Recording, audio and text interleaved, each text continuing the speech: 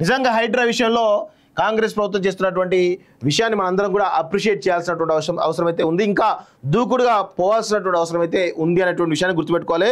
చాలామంది చాలా రకాలుగా అనుమానాలు వ్యక్తం చేస్తూ ఉన్నారు. కానీ అవన్నీ కూడా కుదరవు అనేటువంటి విషయాన్ని మనందరం కూడా గుర్తుపెట్టుకోవాలి. అవన్నీ కూడా కేవలం మాటల వరకే పరిమితం అని చెప్పేసి కూడా తెలుస్తూ ఉంది. కానీ చేతల్లో మాత్రం ఇంకా దూకుడుగా పోయేటువంటి అవకాశం అయితే చాలా స్పష్టంగా కనబడుతుంది. చాలామంది కూడా చాలా రకాల అనుమానాలు వెలువెత్తున్నారు. కానీ ఆ అనుమానాలను విత్రి చేస్తూ రోజు రోజుకి హైడ్రా ఇప్పుడు అధికారుల బదలాయింపు జరిగింది. ఇంకొక విషయం కూడా ఇక్కడ మనం చెప్పాలి. హైడ్రా ఏదైతే ఉందో మనము ఒక ఇల్లుకు సంబంధించినటువంటి నిర్మాణానికి సంబంధించినటువంటి అనుమతులు ప్రతిదీ తీసుకుంటాం కదా. అవన్నిటితో పాటు హైడ్రా యొక్క అనుమతి కూడా తప్పనిసరి చేసే విధంగా రాష్ట్ర ప్రభుత్వం కీలకమైన నిర్ణయం తీసుకోబోతుంది.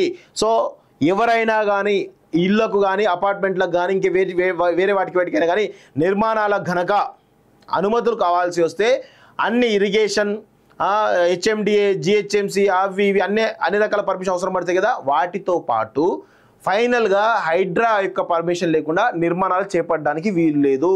సో హైడ్రా పర్మిషన్ ఇస్తేనే మీరు నిర్మాణాలు చేయడానికి అవకాశం ఉంటుంది అనేటువంటి విషయాన్ని కూడా గుర్తుపెట్టుకోవాలి. ఆ దిశగా రాష్ట్ర ప్రభుత్వం నేడో రేపో ఆ హైడ్రాకు మరిన్ని అధికారాలు బదలాయింపు చేసి పటిష్టంగా చేసేటువంటి పరిస్థితి కనబడుతూ ఉంది.